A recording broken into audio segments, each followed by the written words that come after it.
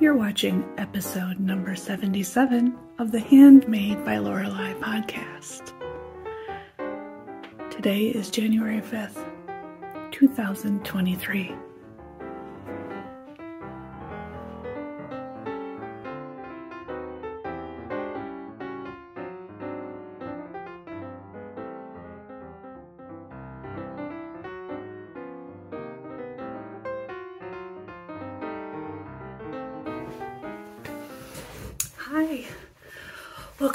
Channel.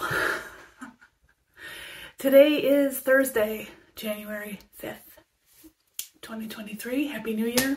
I hope you all had a wonderful Christmas and holiday season. And um, personally, glad that that's behind us. So uh, it was a bit of a whew, bit of an issue trying to get together with my family for Christmas and yeah, a lot of illness and sickness and flu and COVID floating around these days. So sadly, we were planning on going to my parents on the 24th for Christmas Eve, but that didn't happen because the weather didn't uh, want to cooperate that week and dumped a bunch of snow and ice on us. So we had to postpone our trip home to January 1st. So I literally just had a couple days ago Christmas with my folks, finally, and my sister and my brother. We had a great time.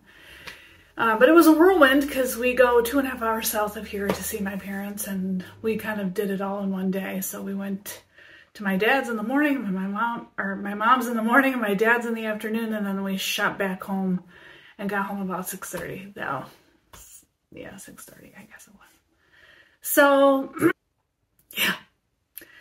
Um, and then the 28th, we were supposed to go to Connecticut, but my mother-in-law is very sick, was very sick with the flu. She's, I think, coming out of it now, but that trip also was postponed. So I'm hoping to get back or get down there relatively soon, but I sent my niece and nephew their presents and they'll be arriving today in their mailbox. And so, it is what it is. Um, it's beautiful sunny day today. It's supposed to be 47 degrees. So, it's spring. It's fake spring. It's January spring. The January thaw, is that what this is? I don't know. But uh, I'm in upstate New York in case you're new to my channel.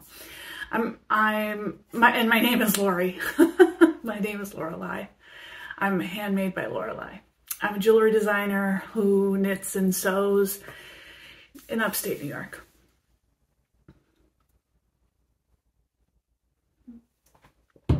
Don't get used to this. This look took about an hour and a half. so uh, curled my hair today and you don't realize how much hair you have until you try to curl it with a one and a half inch curling iron. Needless to say, I need a bigger curling iron. but anyway, we got we got it all curled and um, I got a little makeup so I don't look so dead and I can see the gray coming coming in strong here. It's all right.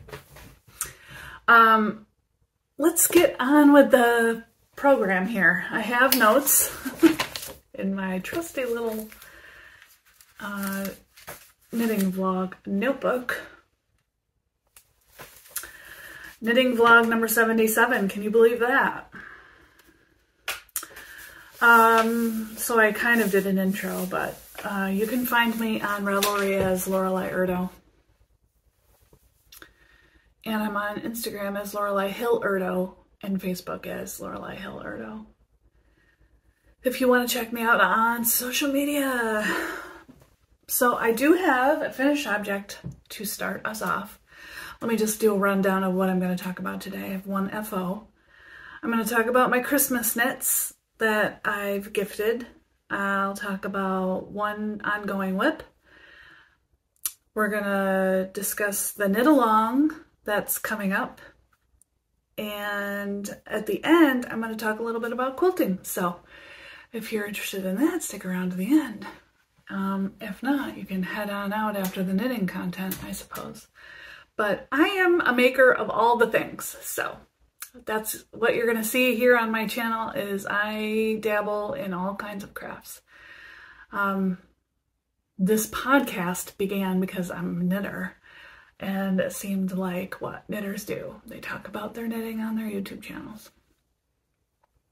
And I like the idea of having a log of what I've knit over the last couple of years. I started knitting in, I don't know, 2017, 18, 17, I think. And yeah, I've knit a bunch of stuff. So check out my Ravelry if you haven't already.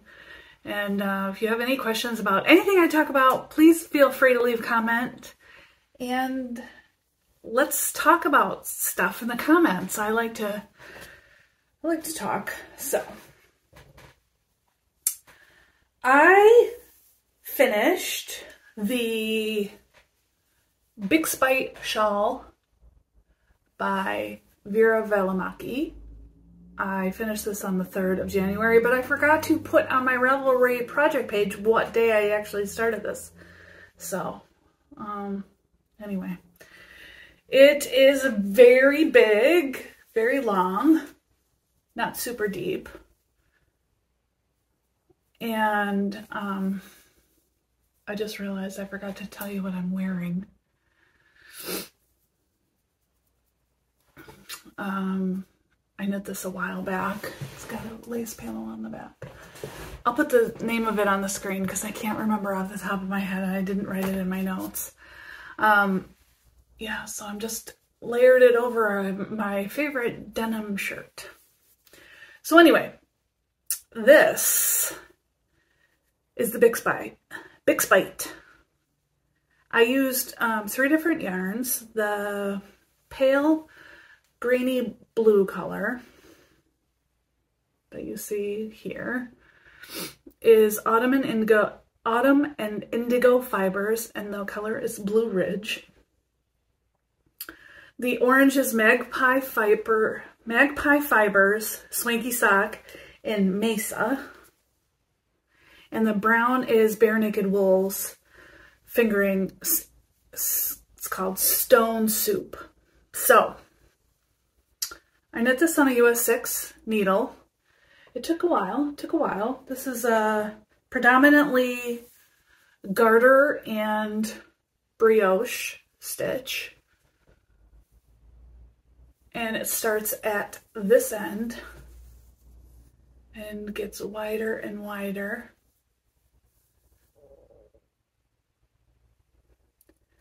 The the brioche was super easy. It does have a couple of increases, decreases, decreases. But they were very easy. This um, is short rows here. And then this big brioche section took a long time. That took me a long time for some reason that was, it is a pretty big section now that I'm looking at it. This last border section didn't take any time at all. Those are short, short rows. Um, I love that it's like reversible too. Like it looks really great on the back side as well as the front side. So when it's all wrapped up around your neck, you know, it looks really great.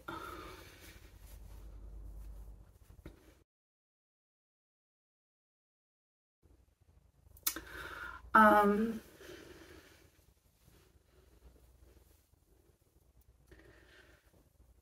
Veera recommended,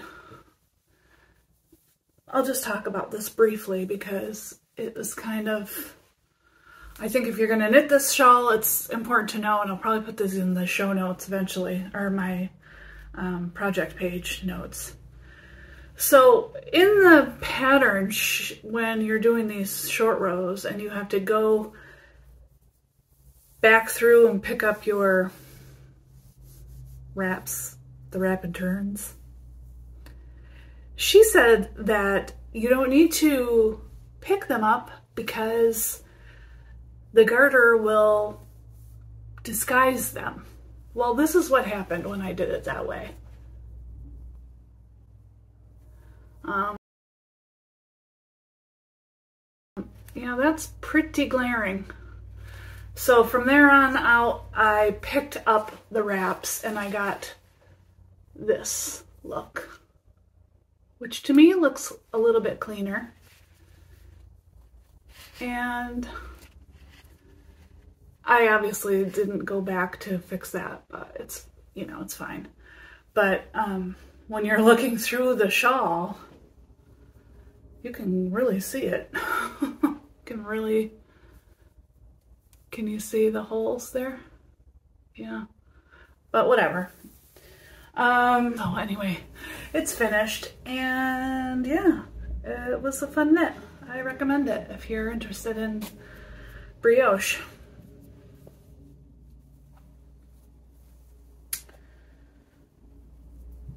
So that is my finished object.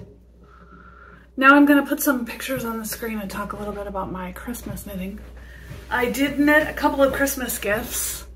One I knit actually last year, I think, was a hat uh, called the Beeswax Hat by Amy van de Laar. And um, I knit it in this really bright pink color. It's awesome. But it's not something that I've ever worn or I didn't see myself wearing it on a regular basis, so I ended up gifting it to my sister for Christmas, and she loved it. She put it on and did not take it off until, actually never saw her take it off.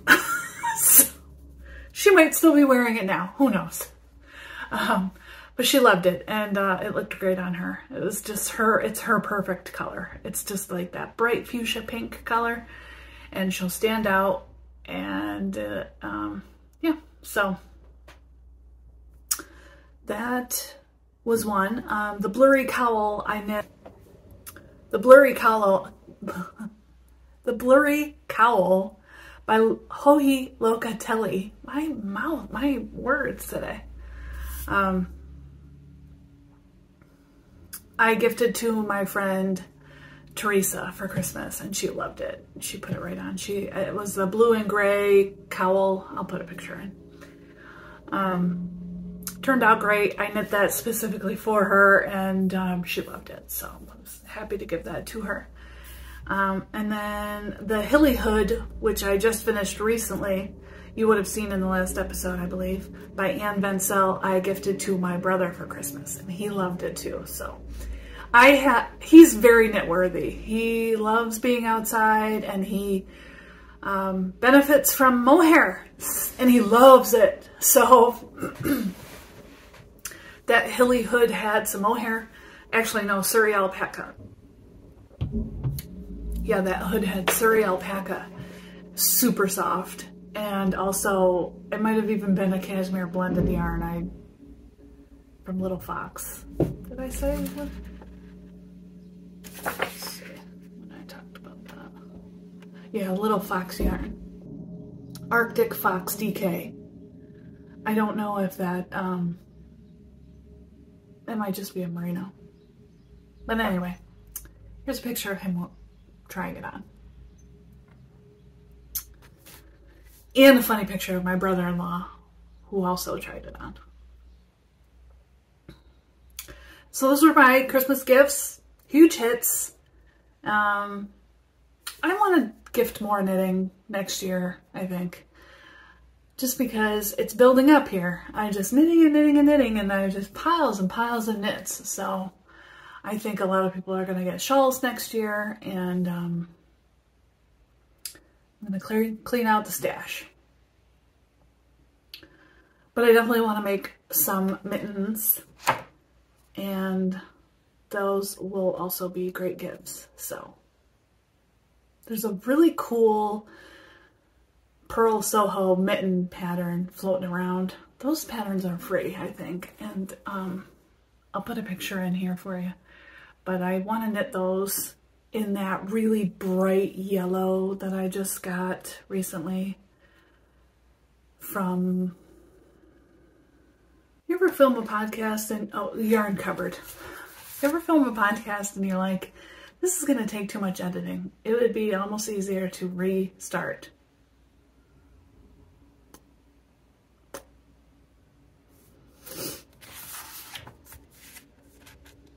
I'm halfway through now, so I might as well just keep going.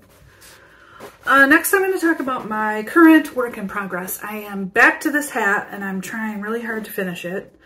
This is called the Pom Pom Chevron by Mariana Martins. Martins. And I'm knitting it with Knit Picks yarn that Milen gave me. Uh, Knit Picks palette yarn.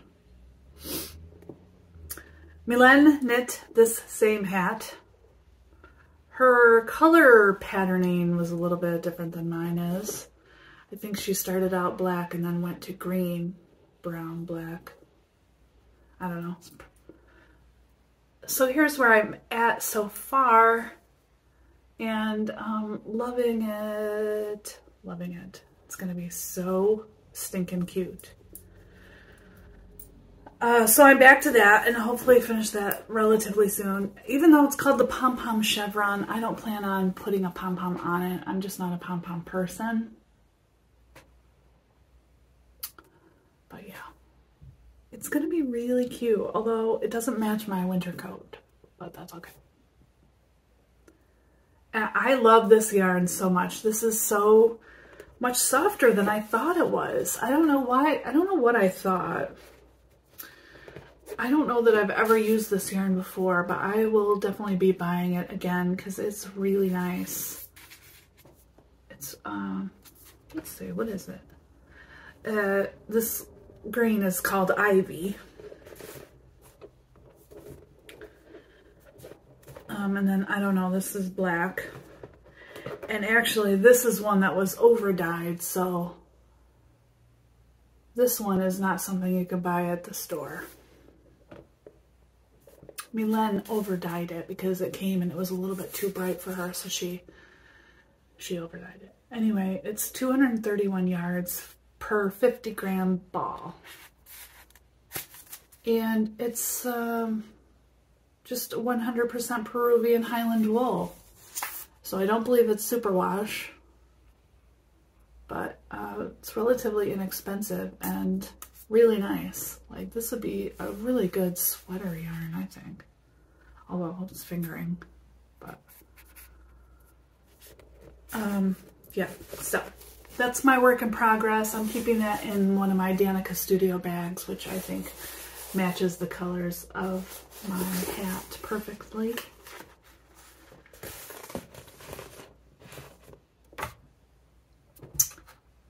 Oh, and I wanted to say that this is the hat pattern here.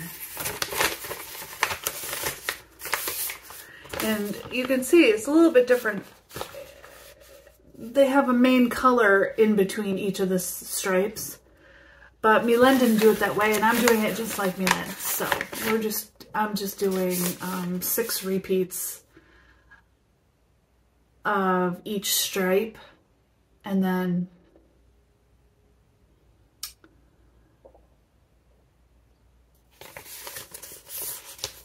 yeah, hopefully, hopefully I'll finish that soon. That's basically the bottom line for that. I want to talk about the knit along. So Milen and I are going to host a knit along in February. Her, she's coming back to visit me again and we're going to do another podcast together. I know you're excited. I'm excited. And she's coming like toward the beginning of February. So once she's here, we will officially announce the start of the knit along. We are knitting a shawl from the book 52 Weeks of Shawls. You can also buy the pattern directly from Claire Walls, the designer, on her website. And if you sign up for um, her newsletter, I think you can get 20% off. I don't know if that's still happening, but um, I ended up buying it, not realizing I already had the pattern, but that's fine. So I'll be able to print it out and I won't have to use the book, I suppose, which will be good. But it's the Hiraeth Shawl by Claire Walls. Heareth, Heareth. And I'm excited because I was digging around for a while trying to find yarn for the shawl.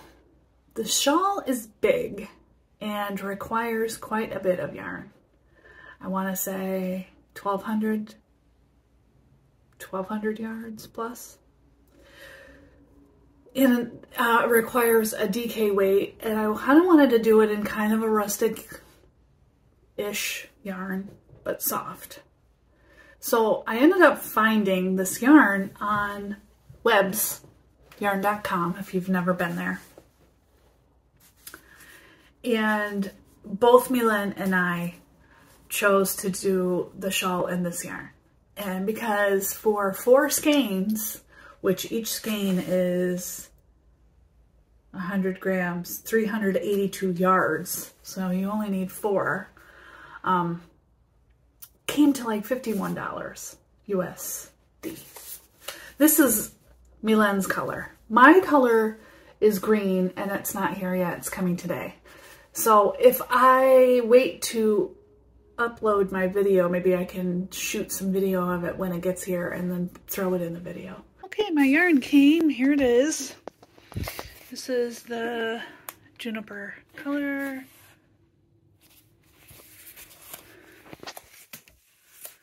Um, trying to get good idea of the color of it.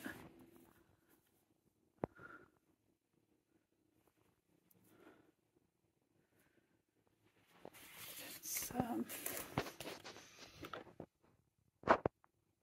yeah, I like it. It's really nice. But mine is called uh, Juniper, I think, and hers is Boysenberry. And this is it. It's really, really soft. It's really nice. It reminds me a lot of the palette. Has very similar feel to it. Might be a little softer and super economical. So, and quite a few colors, and I will definitely be buying this again because $16 a skein for 382 yards is not bad. Be good sweater yarn too, in case you're thinking about knitting a sweater. Yep, so I, the reason I have her yarn is she had it shipped here and she'll pick it up next month when she comes to visit, so. As long as everybody stays healthy, my gosh. uh, and now, let's see. I'm just going to end the episode with some chatter about quilting. And so if you're not interested in that, I'll see you guys next time. And if you are interested, stick around.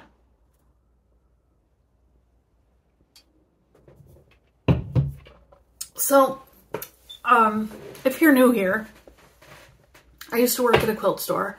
I worked there for two years and I got laid off at the start of the pandemic and never got hired back. So when I left, I had to go and pick up all of my samples that I had in the store. And I had a lot of things on the go there because I was constantly making samples. But the problem was I made a shit ton of quilt tops, but I just never got them sandwiched and quilted and finished. And I have a big pile of them here. So I, a goal of mine for 2023 is to get some of this stuff finished. I mean, come on already. So I pulled out a table runner that I had sitting in that pile and I went to town yesterday and I, um, I went to the store, I bought some spray adhesive, you know, basting spray. I had quilting, what is it called?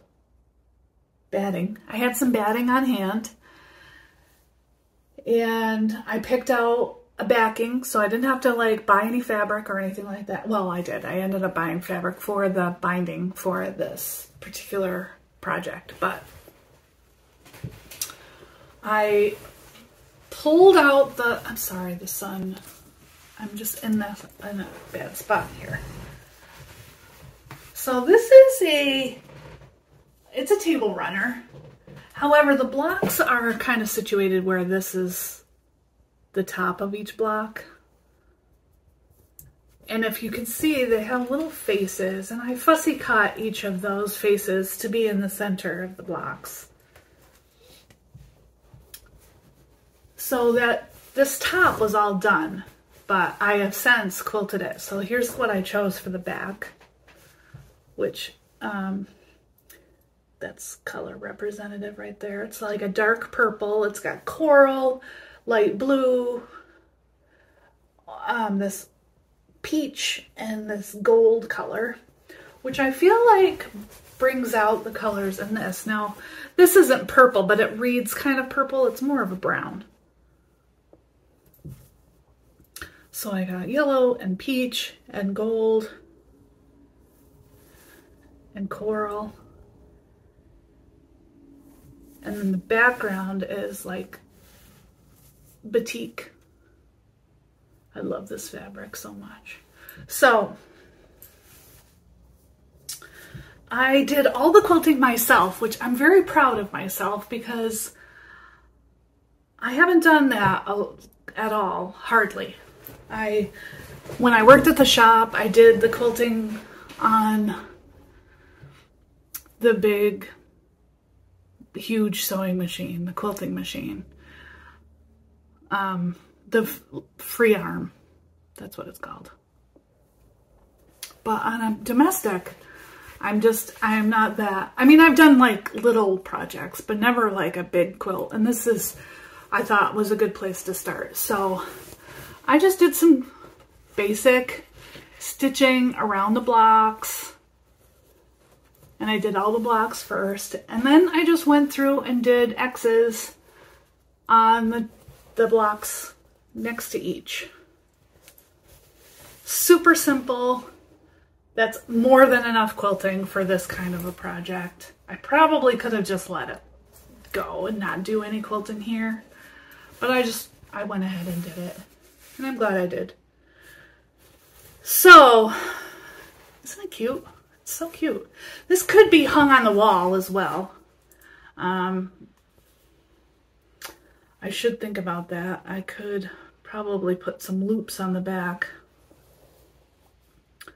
to fit on a dowel or something so that it can hang. But um, it is a table runner, so I don't know. Maybe I'll just leave it. And then, um, so I, I didn't have any binding in my stash that would really go. So I ended up going to Joann's and I found this.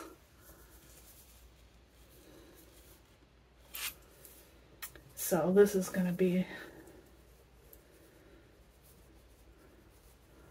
this is going to be my binding. I love it.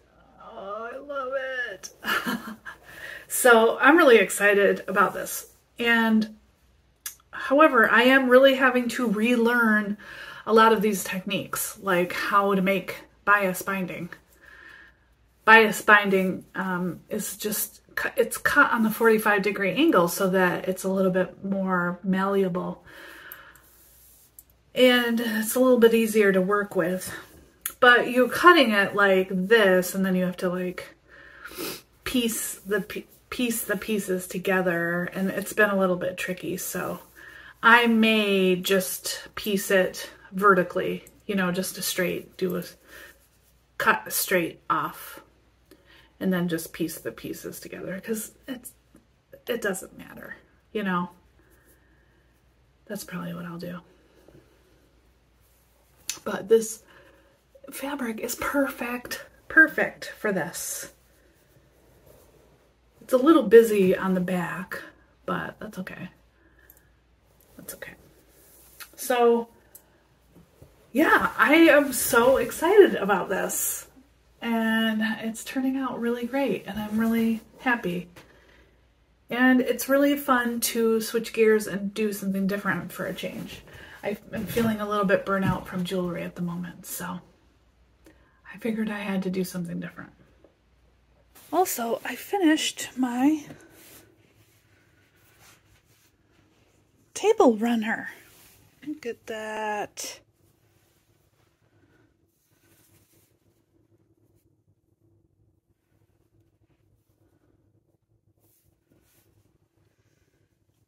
The binding came out perfect.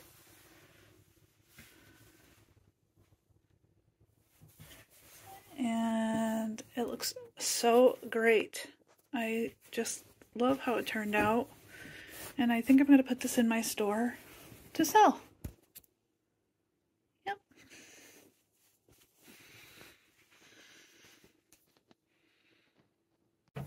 Um, I'll show you another quilt top that I think might be next on the list of things to finish. Not like bed sized, it's more like lap sized, but colors are really pretty. It's perfect springy colors and I love the fabrics.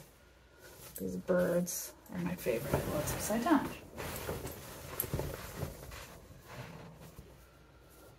Yeah. So this is next on the list. This might be a little trickier to do the quilting because obviously it's more fabric to finagle through the sewing machine, but we'll see how it goes. Um, I think that's all I have to talk about today. I hope you enjoyed this episode. And let me know if you have any questions or comments in the comment section below. It's been a pleasure getting back to doing regular um, podcasts from the hectic December daily vlogs that happened here. I don't know if you watched any of that. um, I've had a couple people tell me that they wa they watched all of the Vlogmas, and I'm like, oh, I, mm, really? um, yeah, I don't know. That was a lot. I don't know if I'm going to do it next year. Eh, I think I will do it next year, but I don't think I'm going to worry about vlogging like life in general. It got really boring, you know? I just, I live a very quiet life. Joe and I don't have any kids. We do a lot of cooking at home. We have very separate interests, so we're not doing things together all that much. And yeah, just for Vlogmas, it's boring. We didn't go anywhere. We didn't do anything fun, really.